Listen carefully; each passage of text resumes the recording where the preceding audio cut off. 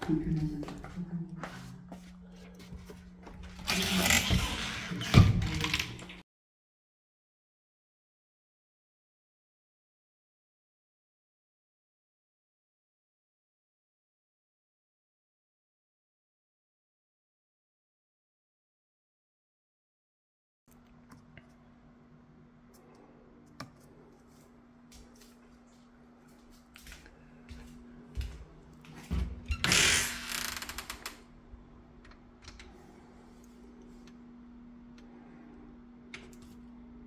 여기 에어컨 밑에 등이 있어요. 이걸 키면 밖에 저 등이 불이 들어오고요.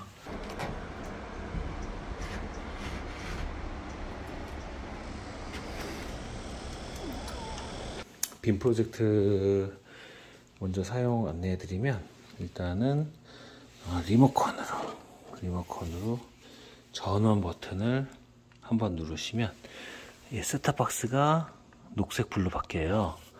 그러면 이 켜진 상태고 얘 빔 프로젝트를 어, 전원 버튼을 한 번 누르시면 얘가 이제 가동이 되기 시작합니다.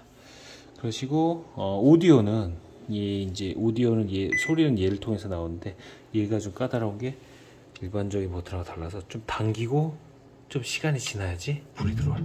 네. 그리고 불이 옥스로 돼 있어야지 옥스로 해서 얘랑 연결돼 있어서 소리가 나고 여기 밑에 넷플릭스 버튼이 있어요.